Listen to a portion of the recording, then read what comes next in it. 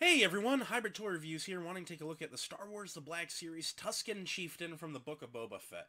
We see this guy pretty heavily featured in the first four episodes of the series via flashback, and he's a really neat design. He's more different than your standard, just tan-robed Tusken Raider. He's got some cool stuff going on, some neat necklaces, and everything that just makes him look like a real chieftain of the tribe.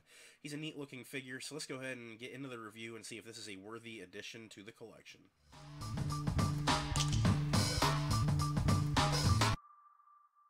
Alright, here we have our standard Black Series packaging with your Black Series logo up above the big window showing the Tusken Chieftain off very nicely. You have your Star Wars The Book of Boba Fett in that kind of camo green across the front. Tusken Chieftain down here, 4 plus Hasbro. Excuse me. This side of the box features artwork of the chieftain holding his staff, looking super cool, his name down at the bottom. This side features your wraparound window, your wraparound green stripe, and your Black Series logo down at the bottom. Way around back, you have your Black Series logo, a zoom in on that side art, his name, and a bio in varying languages. Pause and read whichever language best applies to you. He's number six in the Book of Boba Fett lineup. Below that, you see a ton of legal stuff, Hasbro Disney logos underneath. You have a barcode, more legal stuff, more logos about varying things.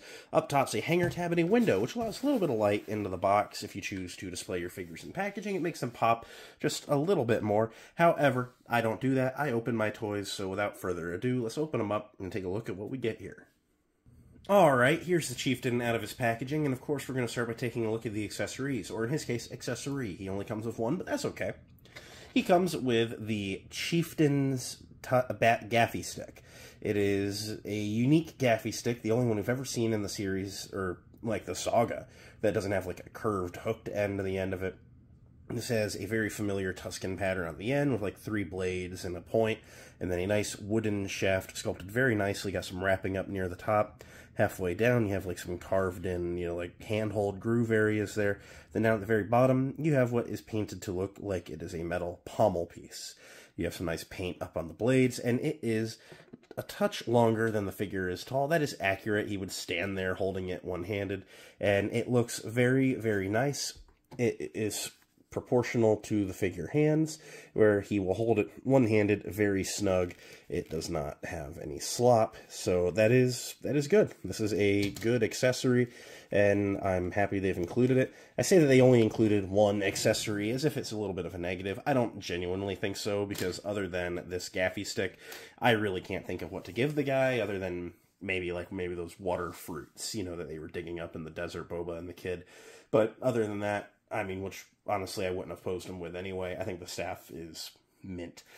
So, looking at the chieftain, he actually looks really cool. I, I like this a lot. I've never been like a huge Tusken Raider guy. I'm not big on the OT era in general, so the OT and his aliens don't draw me a whole ton. But this guy, I knew I had to have him. You know that me, a non OT guy, is particularly moved, you know, when you got that one single manly tear, you know, after Boba's, you know, doing that cremation of the whole tribe. Like, you know, I, I, I knew I needed to get this guy in the shelf, and I really hope that we end up getting that female black robed Tusken warrior too. I think that would really kind of like set me on Tuskens, because I do have a couple OT ones. I think they'd blend very nice. But he looks really cool. He's a lot of reuse from the OG Tusken Raider Black Series figure. I'm going to bring that in here.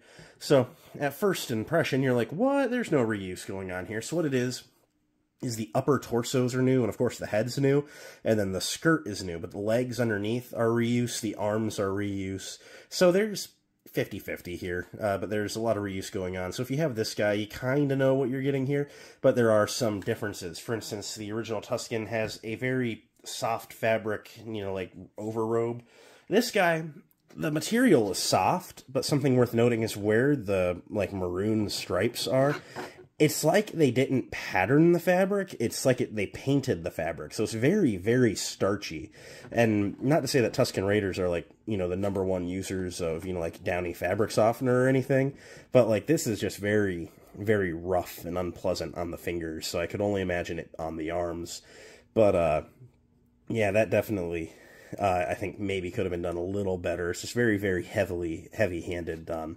Um, but it looks good, and ultimately, it's not like a super main character, so I kind of understand why maybe that didn't have like mega effort put in. But the overrobe lays very nicely. The face on this guy looks really cool.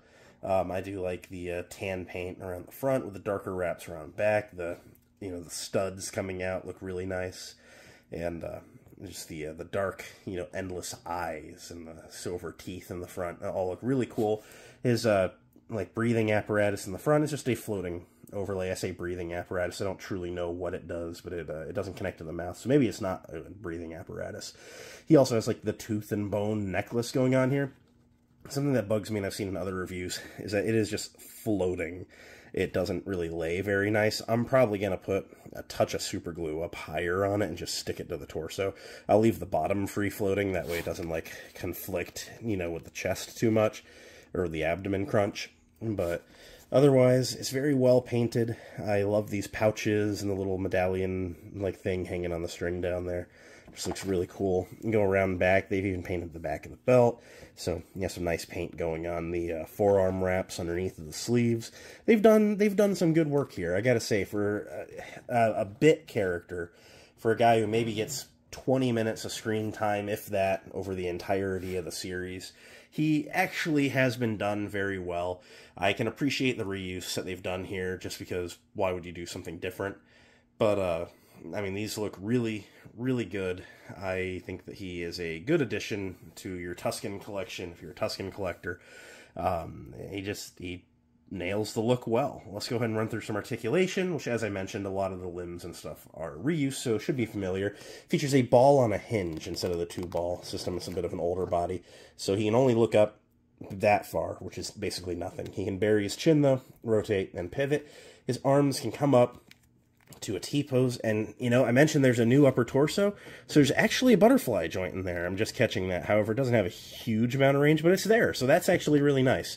360 at the shoulder, single jointed elbows can go to about 90, rotate at the elbow, 360 at the wrist with the left one hinging in and out, the right one also hinging in and out. So no pointing the gaffi stick. It's okay. It's not like these guys like go to war or anything.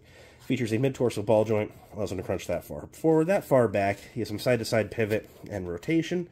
His legs, can kick all the way out into a true splits, but then you have the heavy rubber skirt, so like, it, you know, he can actually just stand on the skirt. But uh, all the way out, there's an upper thigh rotation, double jointed knees, and go all the way up. The feet can point basically straight down, pretty far forward, honestly, and there's a forward-facing pin for rocker, allowing you to get him into some decently wide stances with both feet flat on the ground.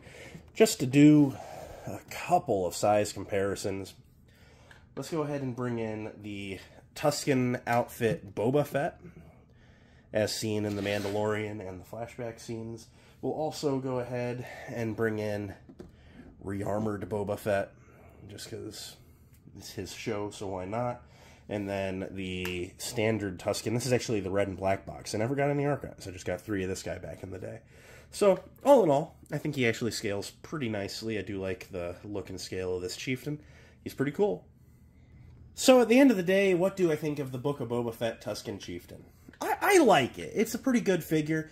Look, I totally get this one's definitely going to be a pass for some. He doesn't have a huge amount of screen time. It's just another Tusken Raider, and hey, I get it. Um, I really like this design. I liked the idea of actually seeing like Tusken chieftains. Um, again, I've never been huge on the OT, on the OT era, you know, anything to do with it really, so I'm not like a big Tusken Raider, you know, fanboy or anything. Um, they were very blink and you miss it for me. But, you know, the show did something really cool. They actually showed us a little bit about the Tusken Raider culture within the universe. And that's something that I never thought I would care about. That's something that I never wanted. I never cared about the notion of. But then they actually did it in a pretty compelling way and so like I actually had a pretty good time, you know, with that portion of the series. I love the Book of Boba Fett in general, and honestly, anything they put in this packaging, I'll probably pick up.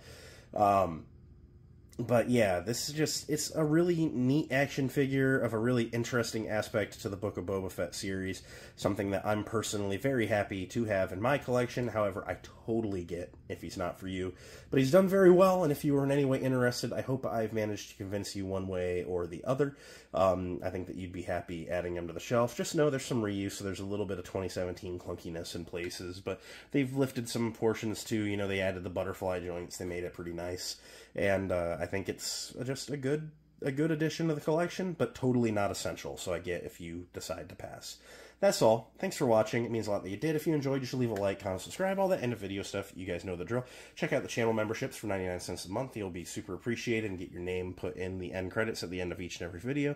And until next time, I just want each and every one of you to know that I appreciate you, and may the force be with each and every one of you. I will see you next time.